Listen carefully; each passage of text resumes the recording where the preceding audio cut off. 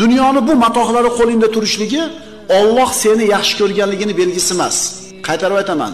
Dunyo matohini qo'lingda serob bo'lib turishi, taningni sog' bo'lishi, hayotingni zo'r bo'layotganligi Alloh seni yaxshi ko'rganligini belgisi emas. Birodarlar, qoidani bilib olaylik. Bir narsaki, Alloh bu narsani yaxshi ko'rgan bandasiga ham beryapti, yomon ko'rgan bandasiga ham beryapti. Yaxshi ko'rganga ham beryapti buni, yomon ko'rganga ham beryapti buni. Demak, shu narsa Allohning muhabbatini belgisi emas. Ma'qulmi? Xudoga yoqqan joy bor, shuning uchun zo'rasini katta bergan. Xudoga yoqqan joy bor, shuning uchun rizqini keng qilgan. Bu noto'g'ri gap.